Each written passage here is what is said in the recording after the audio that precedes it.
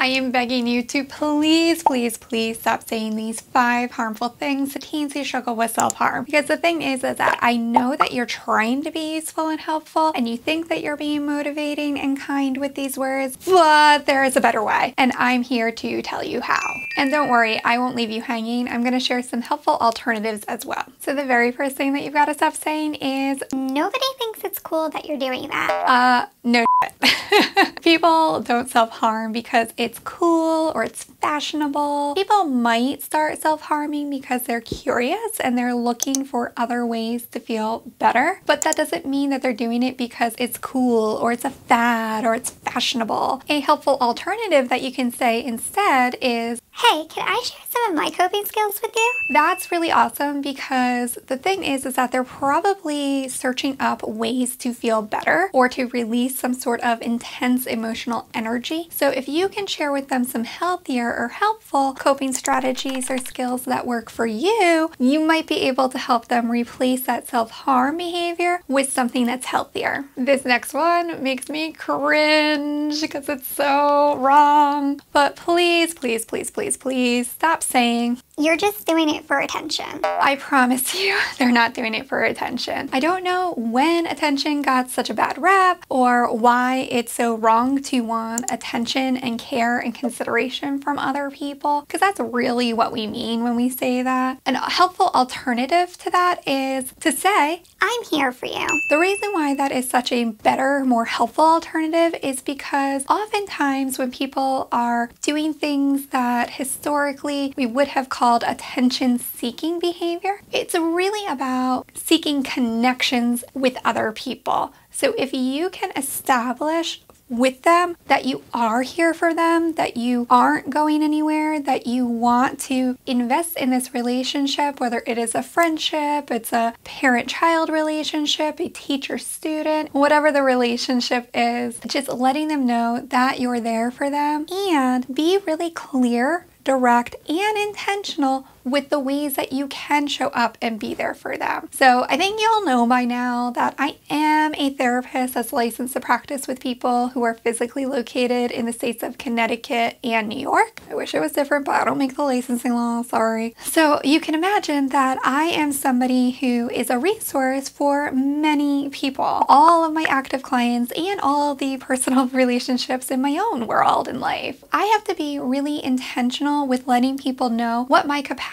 and limits are for being available. Because the thing is, is that if I'm in session with a client and somebody else is needing my help and support, I'm not going to be able to answer the phone during that session. That wouldn't be right or kind to the person that is in front of me that I'm helping. So what I do is that I give alternative resources as well for when I'm not available. And I'm very clear that I'm not available 24 hours a day, seven days a week. I don't think that's healthy for anybody, especially when you're supporting a friend who's struggling with something like self-harm. YouTube actually put together a wonderful resource that I include right in my description. The next one that you have to stop saying to people is, No boy is ever gonna like you with scars like that. ugh, so annoying. First of all, it's really presumptuous and assuming that that person is interested in a particular gender. Please don't do that unless somebody has specifically told you that. Besides that, though, when it comes to engaging in self harm, there's often a layer of upset or shame already. Those scars might be meaningful or purposeful to the person who is self harming, but they might also bring up more memories of shame. So when you then also layer it with the idea that somebody could not love them or care for them when they are engaging in this sort of behavior, you're reinforcing all those reasons that probably lead them to self harm in the first place. So please don't add that. And I will also add there are plenty of examples of people who have self harmed who have gone on to healthy and successful romantic relationships and friendships. So it's nonsense anyway. A helpful alternative that you can say instead is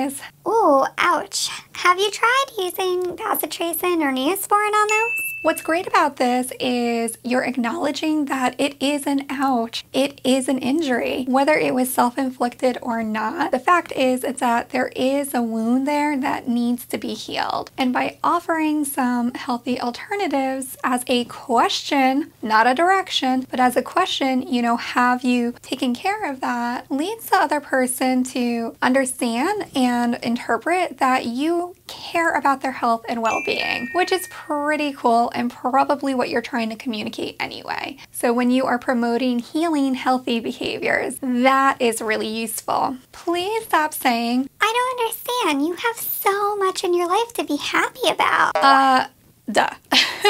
Most people who self-harm or self-injure actually express a lot of appreciation and gratitude for the things that are great about their lives. They can totally acknowledge that and still feel intense deep pain or hurt or just discomfort, which can lead to self-harm behavior because we tend to live in this very like binary thinking kind of a world, which isn't useful and is not realistic. We grow up with these books that say it must be up or it must be down. It must be left, it must be right. So getting stuck in this either or, you must express gratitude or you must experience pain, isn't useful or helpful because it's just not realistic. You can have multiple moods and multiple feelings and emotions at any point of time. By relating back to that, that it like not understanding because they could be grateful is already assuming that they're not grateful, which they probably are. And it's also feeding into that binary thinking of it must be this, it must be that. Instead, a more helpful alternative would be to say, you must really be struggling right now. What's nice about that is you're expressing care and concern and acknowledging that they're really struggling. You can also boost that and follow it up with a I'd love to hear more about what you're going through. Ah, oh, that would be great. Please don't say that though if you're really not interested because then you can just reinforce that negative experience for them. Oftentimes, a lot of these kids and people who struggle with self-harm think that they have to go it alone, that nobody is interested, that nobody could possibly care. So showing care, attention, and concern can be really healing for their own healing process as well. Okay, so this one is the worst. Ah. Whoa, you must be crazy. First of all, most people aren't crazy. Most people are doing the best that they can to cope and survive whatever struggles or stress that they're going through. Please don't call people crazy in like a negative way. It's horribly cruel. It's horribly unkind. If you're saying like, wow, you must be crazy, like crazy fun, like I'm all for that. But saying somebody's crazy as a negative stereotype just reinforces all that shame that we talked about before and you don't want to be doing that. Also showing shock and like extreme shock like that, like whoa or wow, also not cool. Most people who self-harm, again, don't always feel great about it. By showing shock and awe like that, you're actually reinforcing for them that they need to hide who they are and what they're struggling with rather than reaching out for help and support. So something better that you can say instead is, hey, have you considered talking to a therapist about that? They can really help. What's lovely about this is that most mental health therapists are trained to support people who are struggling with self-harm and self-injury. I happen to be somebody who specializes in this area, but if they're not, they can often help link you up with a therapist who is. I can tell you that I have seen people recover from self-harm over and over again. I have seen them do it with and without therapy. I'm not saying that therapy is the end all be all. I happen to be trained as a therapist and so that's the style that I help support people with. But the thing is, is that you just want to offer them some specialized professional care or support if they're struggling that much. If they happen to already be working with a therapist or you're just looking for other ways to support your friends who self-harm, I highly recommend that you watch the video on your screen right over here where I'm sharing some helpful tips. If you found the information in this video useful and helpful, you know what to do. Go ahead and share it. Thanks for watching.